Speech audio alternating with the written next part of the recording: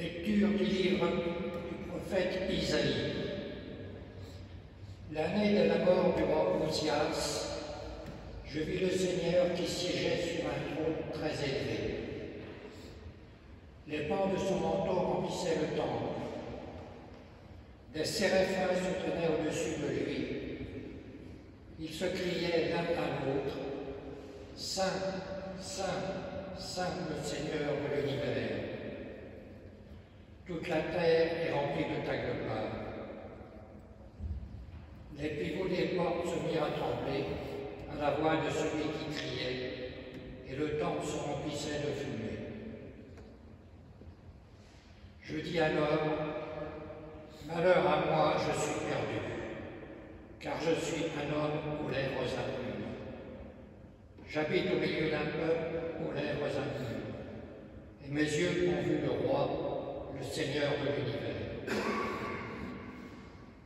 L'un des séraphins vola vers moi, tenant un charbon brûlant, qu'il a pris avec des pinces sur l'autel. Il l'approcha de ma bouche et dit Ceci a touché tes lèvres, et maintenant ta faute est enlevée, ton péché est pardonné. J'entendis la voix du Seigneur qui disait Qui enverrai-je? Qui sera notre messager répondu Me voici, envoie-moi. Parole du Seigneur.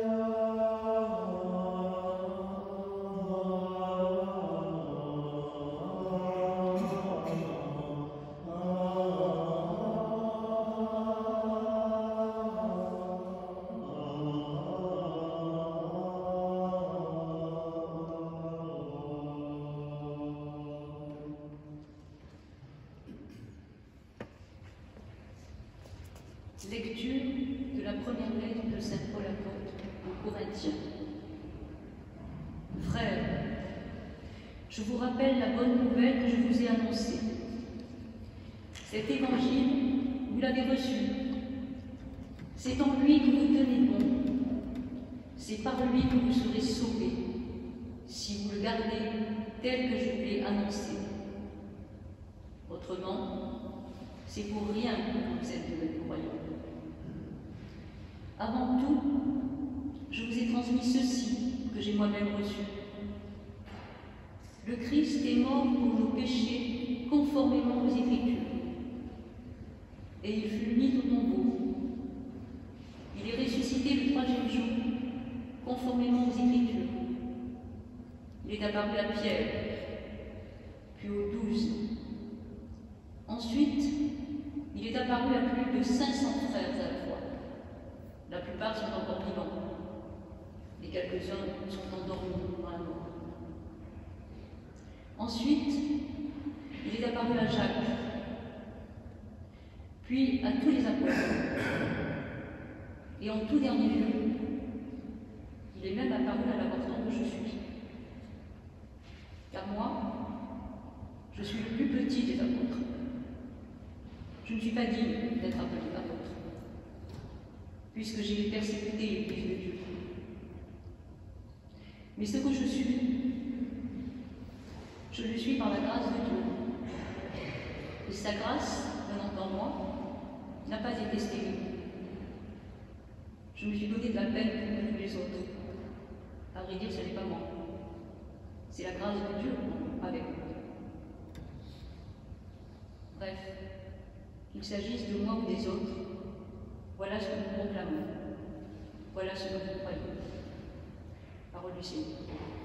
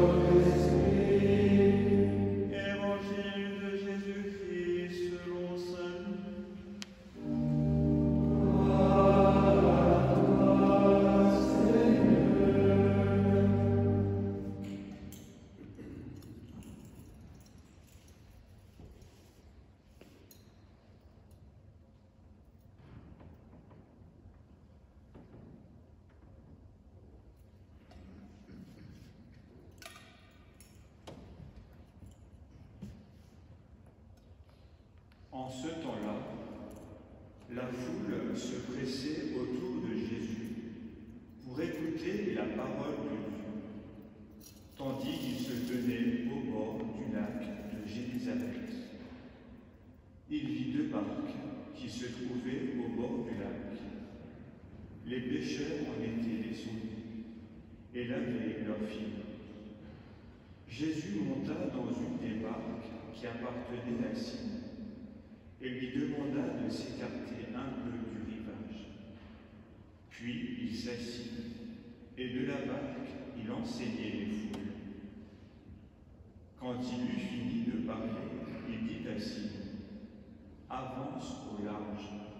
et jetez vos filets pour la pêche. Simon lui répondit, Maître, nous avons peiné toute la nuit sans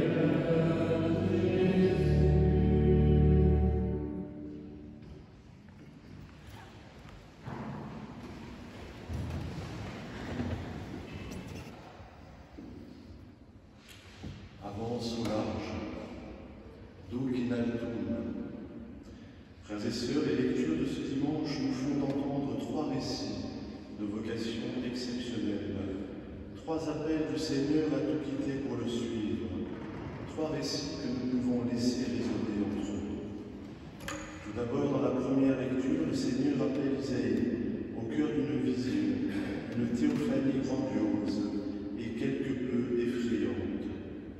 Isaïe tremble devant la majesté divine qui remplit le sanctuaire. Tremblement des portes, signe de feu, fumée qui rappelle les théophanies au Sinaï. Dans le temple retentissent les cris des séraphins, le trisagion, la grande acclamation du Dieu trois fois saint, Seigneur de l'univers. Mais au final, Isaïe s'offre volontiers et spontanément, semble-t-il, pour être envoyé auprès des hommes, pour avancer au large. Qui enverrai-je demande le Seigneur? Qui sera notre messager? Isaïe répond Me voici, envoie-moi. Dimanche dernier, nous entendions le récit de la vocation de Jérémie, caractérisée davantage par l'intimité d'un cœur à cœur avec Dieu, avant même de te façonner dans le sein de ta mère, je te connaissais. Jérémie n'était pas saisi de crainte devant Dieu, mais redoutait par contre l'affrontement avec les hommes. Ces différentes nuances entre les récits de vocation nous montrent combien les appels que le Seigneur nous adresse sont personnels, propres à chacun, tout comme les réponses du Comme Isaïe, Saint Paul a été saisi par Dieu. Il a eu une vision du Christ ressuscité, se manifestant dans une éblouissante lumière et le terrassant au sol. Comme Isaïe et Saint Pierre dans les évangiles, Saint Paul eut dans sa vision le sentiment de son indignité, de son péché, lui le persécuteur zélé des premiers disciples du Christ. Cette profonde humilité ne le quittera plus et l'aide à justifier son annonce de kérim et sa vocation d'apôtre. Et comme le prophète Isaïe, Saint Paul a été pardonné et appelé personnellement. Ce que je suis, je le suis par la grâce de Dieu, et sa grâce venant en moi n'a pas été stérile. Frères et sœurs, quel témoignage extraordinaire de la puissance de la grâce de Dieu, agissant à travers et au-delà de la faiblesse humaine. Dans l'évangile de ce jour, Pierre et ses compagnons viennent de passer la nuit à pécher, en vain, sans succès. C'est l'échec. Et Jésus va se servir de cet échec pour mieux se révéler à Pierre et lui révéler sa mission. En effet, grâce à la foi en sa parole, la présence cachée et bien réelle du Seigneur fait advenir en nous et autour de nous une surabondance qui fait craquer toute mesure humaine. Ils capturaient une telle quantité de poissons que leur filet allait se déchirer. À la vue du miracle, Pierre, comme Isaïe, est saisi d'effroi et tombe aux genoux de Jésus, conscient de son péché. Ces récits nous montrent que nous n'avons vraiment conscience de nos péchés qu'au contact de Jésus, Fils du Dieu vivant, agissant, présent dans nos vies.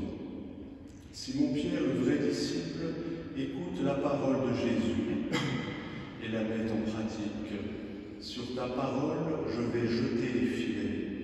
Mais à la différence des gens de Nazareth et de Capharnaüm, Pierre voit en Jésus non pas un guérisseur ou un messie politique, mais le Seigneur, dont il ne cherche pas à s'emparer, mais dont il confesse la Seigneurie, la divinité. Éloigne de toi, de moi, Seigneur, car je suis un homme pécheur. Dans ces conditions de dépouillement de lui-même et d'humilité, Pierre peut alors recevoir sa mission, son appel qui embrase, qui embrasse l'Église universelle. Sois sans crainte, désormais ce sont des hommes que tu prendras. Cette mission que Pierre reçoit est la mission de toute l'Église, dont Pierre, ici dans sa barque, est l'illustre précurseur, le symbole du disciple, le modèle, et au-delà de tous les disciples du Christ. Saint Luc explique cette mission d'évangélisation et de conversion des hommes par le miracle de la pêche miraculeuse, tandis que pour Saint Jean, cette même pêche miraculeuse, relatée après la mort de Jésus, est davantage une manifestation du Christ ressuscité. Ce miracle chez Saint Luc est une manière de dire que Pierre et à sa suite l'Église ont pour mission de tirer l'humanité en dehors des eaux du péché, les eaux dans la Bible symbolisant l'habitation des puissances du mal. Et seule, l'Église ne peut pas accomplir sa mission. Nous avons peiné toute la nuit sans rien prendre. Et grâce à la présence et à l'action efficace au milieu d'elle de son Seigneur, le miracle devient possible. Alors laissons tout, ils le suivirent. Oui, frères et sœurs, à notre tour, avançons au large, vers les périphéries de nos sociétés. Mettons-nous spontanément à la suite du Christ. Cessons de nous agripper au rivage de nos certitudes. Cessons de mettre des limites dans nos engagements quotidiens, dans notre vie spirituelle, communautaire ou familiale. Cessons de vouloir tout contrôler, tout maîtriser, et faisons vraiment confiance à la parole du Seigneur et à sa providence. Alors nous réaliserons à notre tour des miracles de charité et de conversion, et nous serons ainsi de vrais témoins du ressuscité, lui qui vit et règne pour les siècles des siècles. Amen.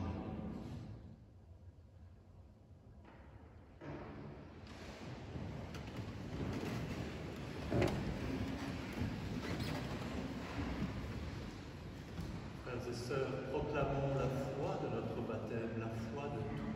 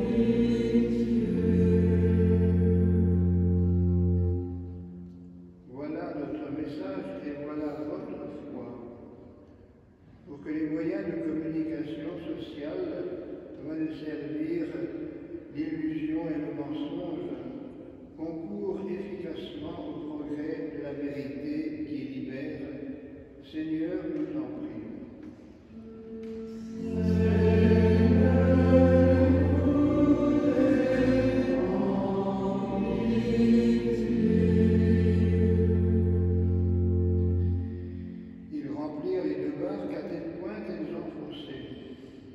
Pour que la barque de l'Église soit assez vaste et assez solide pour accueillir en elle toute misère, toute souffrance, tous espoirs des hommes et des femmes de notre temps, Seigneur, nous t'en prions.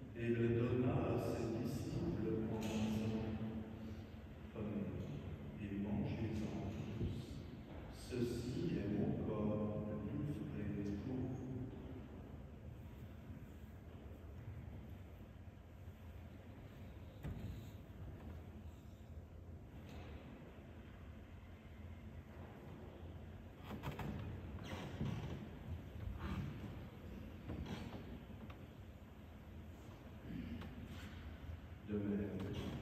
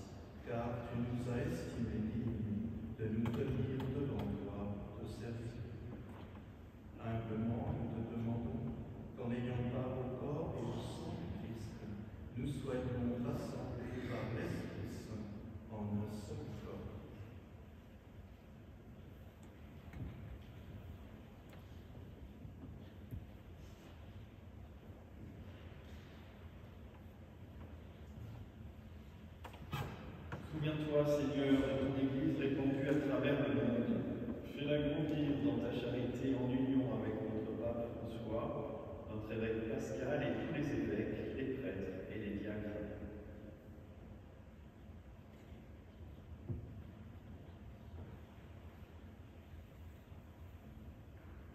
Souviens-toi,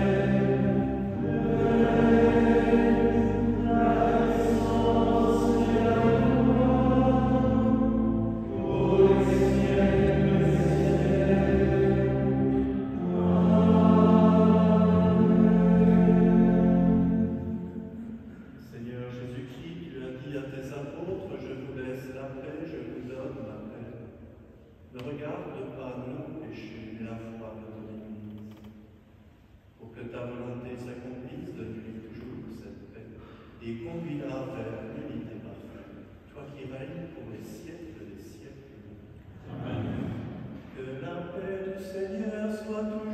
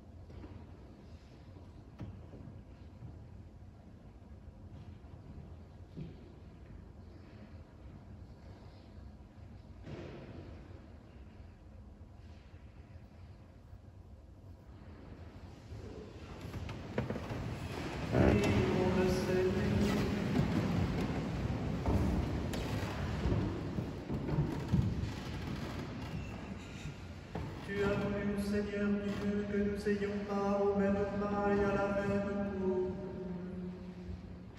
Nous t'en prions, puisque nous sommes devenus